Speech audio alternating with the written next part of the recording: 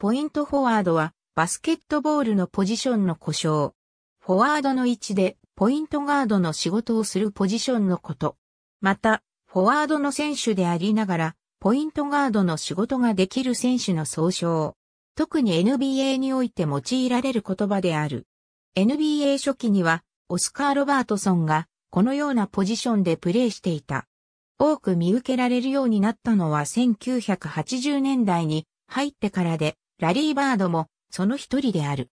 ミルウォーキーバックスのヘッドコーチだったドンネルソンが、本来フォワードの選手をポイントガードの選手にマッチアップさせ、相手選手とのミスマッチを生じさせることを提案した。2014年ファイナルでのサンアントニオスパーズのプレースタイルからメディアでも表現されるようになったビューティフルバスケットボールでポイントフォワードを務めたボリス・ディアウが MVP 級の活躍をしたことがポイントフォワードの重要性を示した。NBA ではスコッティ・ピッペンやレブロン・ジェームズらが該当する。ありがとうございます。